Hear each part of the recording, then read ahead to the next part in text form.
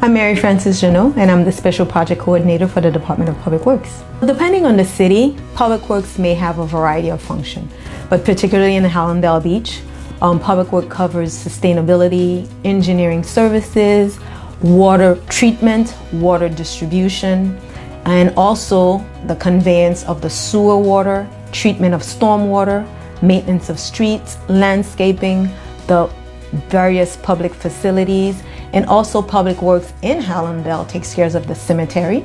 And last but not least, sanitation services, which includes trash, recycling, and garbage. Well, Public Works Week is actually a week where nationwide, actually throughout North America for that matter, we are celebrating the hardworking professionals and the hardworking individuals that work throughout the city in different areas. And it is actually, it was instituted back in the 1960s by the American Public Works Associations.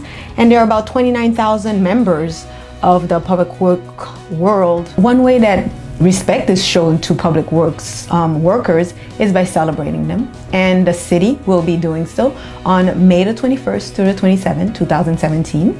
And residents can show their appreciation and honor public works workers by giving a compliment and by even sending a note to our director, letting us know that we're doing a good job. And uh, even when we need to improve, give us recommendation, and we would truly appreciate that.